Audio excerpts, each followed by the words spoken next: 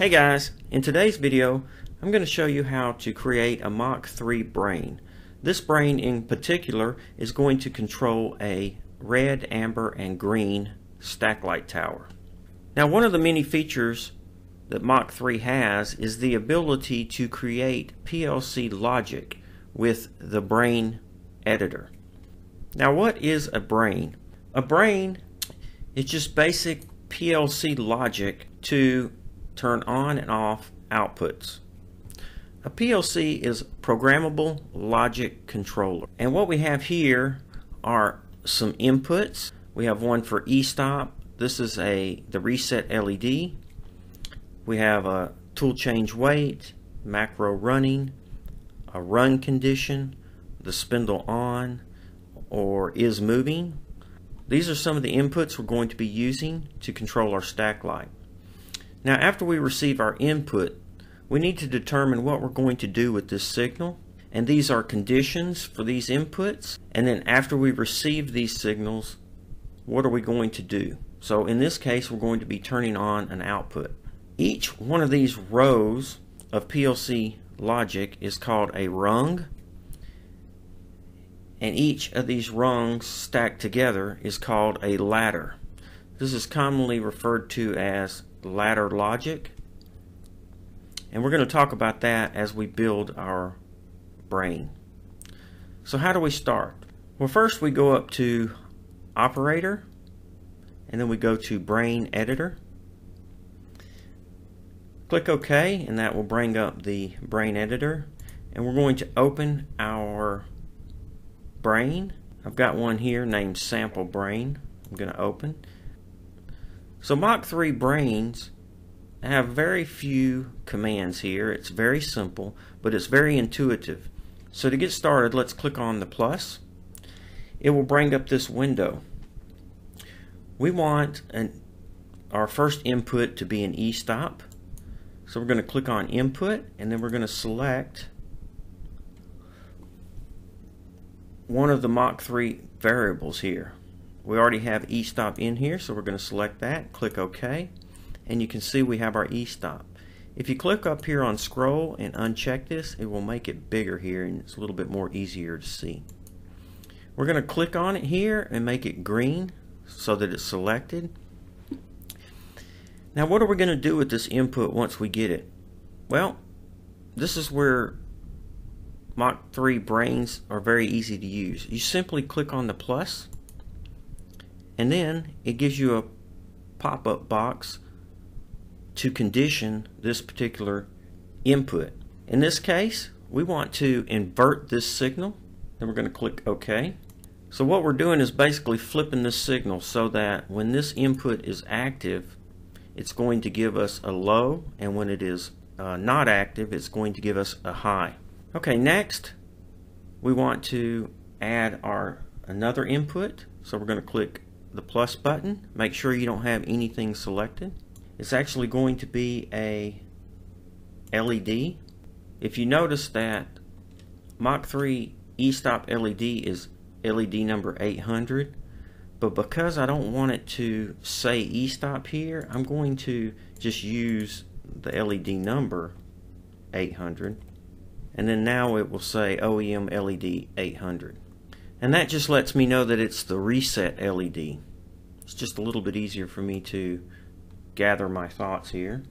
Okay, we're going to select this and then we're going to click our plus button again so that we can condition this signal. We're going to select no operation, click OK. So it's basically just going to pass this signal through here. And then next, we want to add a function we're going to add an AND function. So we're going to select this, hold down control and select the other. We're going to click plus again and then now we're adding some logic. We're going to use an AND function. We're going to click OK. So what I'm basically saying is I need to have the reset LED but not an e-stop. Both conditions need to be met in order for me to get an output. Next, I want to select our AND, click plus. I'm going to add a timer. Now this timer needs to not be a cumulative. It does not need to be a single shot. It does not need a delay. The pulse needs to be 0.75 seconds and it repeats after another 75.75 seconds. Click OK. Alright, so now that we have our timer in place, we're going to select it and then we're going to terminate this rung and this is the upside down T. We're going to use an output and we're going to use output 7. Click OK. So let me explain this rung. Our input here is for our e-stop, but we have inverted this signal. So if we if our e-stop is not activated and our reset LED is activated, then we're going to output make output 7 active every 0.75 milliseconds. So we're going to get our output blinking. But what do we do if our out e-stop is solid? Well, that's where the next rung comes in. So we're going to hit plus again and we're going to use an LED. We're going to use 800 again.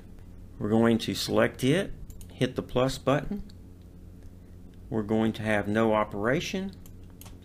We're just going to pass that signal through again and then we want to add another input. This is going to be our e-stop. Hit OK. We're going to select it, hit our plus. Again, no operation. Then we want to select this, hit control and select this. We want to have an AND function. And then we want to go up here. We want to remove this terminator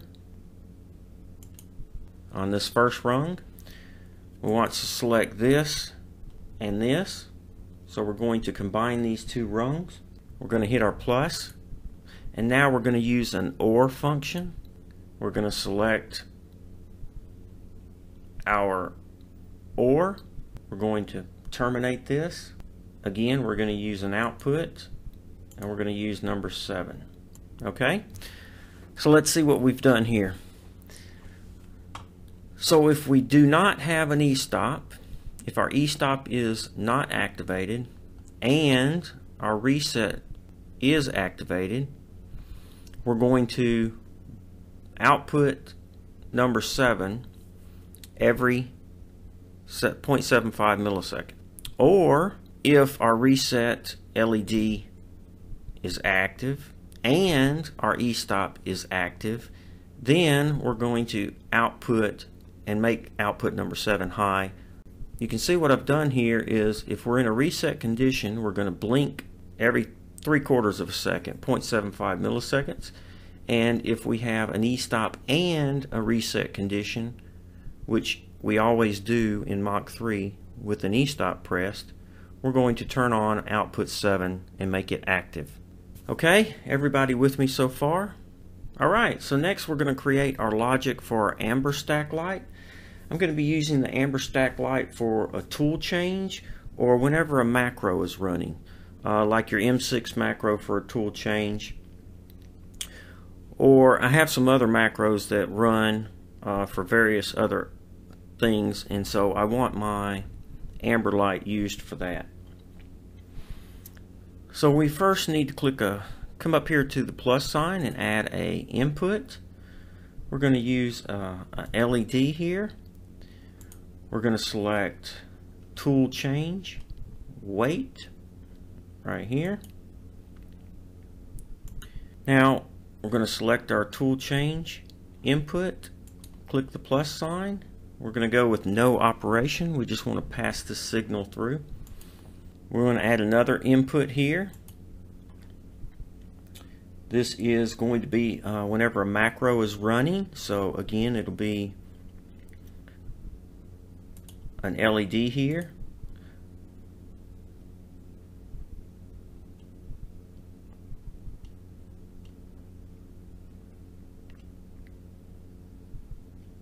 It's hard to find that sometimes through here. Uh, macro is running. Okay. Click OK.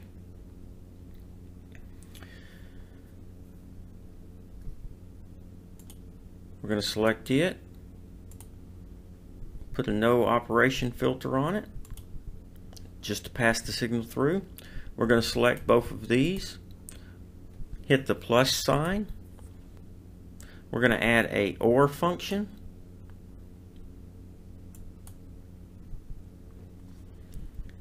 going to select this, hit plus again. Let's create a timer.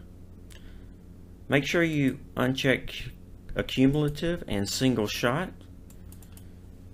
I'm going to hit 0.75, 0.75. We're going to select our timer and we're going to terminate this with output number 8.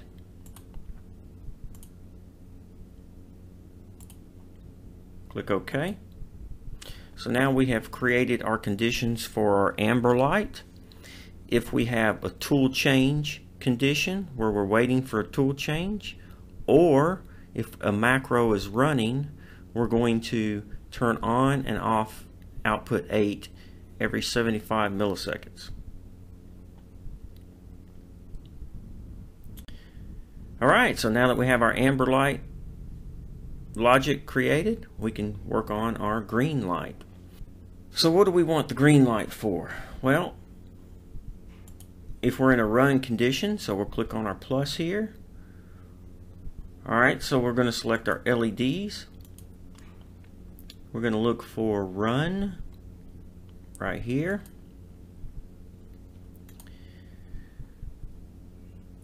We're also going to add another input for our spindle. Doesn't give you all the information there, but I think it's clockwise or counterclockwise there.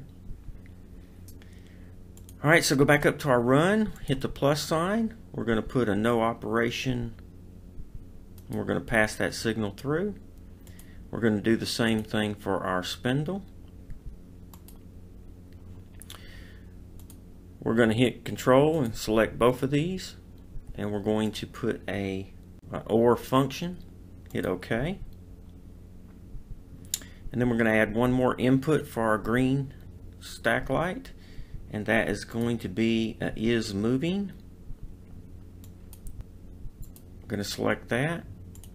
Put a no operation filter on there. I'm going to also add a timer to this. Again, you can make the delays, whoops, you can make the delays whatever you choose. I do uh, 0.75. Alright, we're going to select this timer and this OR output. And then we're going to select another OR function. And we're going to terminate this with output number 9.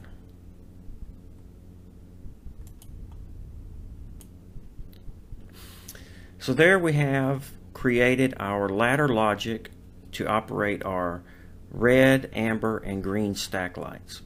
Now, for the green stack light, if we are running or if the spindle is on or if we're moving, we're going to turn on our green light. If we're just moving, then we're going to flash our green light. If the spindle is on, or if we're running G-code, then it's going to be on solid. Alright, so how does this all work? Don't forget to save your work here. Go up to Operator. You go up to Brain Control we want to first enable the stack light brain that we just created sample brain or whatever you named yours that you just created uh, we're going to be using our stack light. So you select it here you make sure it's enabled and then you uh, load it or reload it in this case just in case you made some changes. And then we're going to view it we'll select it and then hit view. Alright so now that we've created our Mach 3 brain we can see how our PLC logic works so if we have an e-stop condition we get both our flashing reset here as well as our e-stop you can verify this by looking at your diagnostics tab. So we have all four of those conditions made and we get our output 7 active. If we clear the e-stop but yet we still have our not ready condition, not reset condition, then we get a flashing red light. Once that is clear, you can see the output goes low and we lose our red stack light. For our amber stack light, if we're in a tool change or if a macro is running, we're going to get output 8. So if I press this power drawbar button here, you can see that our output 8 flashes because the macro is running and it is on a timer. So it's going to turn on and off output 8. Same thing will happen if we're in a tool change. Now for our green stack light, if we are moving like we would be if we're referencing our machine, you can see we turn green. I know this happens kind of quick because we're in simulation mode but you can see that we get our output 9. If we turn the spindle on, we also get a solid green light. And if we're running G code, we will also get a solid green light. So that's basically how the PLC logic works. You can see it, it looks fairly complex, but in reality it's not really that complicated. You can see that it's fairly simple to do. However, I will warn you that when using breakout boards, avoid breakout boards that use the safety charge pump function because once you're in a reset condition, it disables your breakout board and it will no longer let you output the outputs in order to enable the stack light. So you need a plain breakout board that does not take advantage of the safety charge pump and then that way it can still activate your outputs for your whatever you're choosing to do. In this case operate a stack light. Guys thanks for watching the video. Please feel free to ask questions make suggestions and leave comments hopefully this video will help you if you're considering adding some kind of PLC function to your Mach 3 thumbs up if you liked the video Please subscribe to the YouTube channel. Thanks for watching, and most importantly, be safe.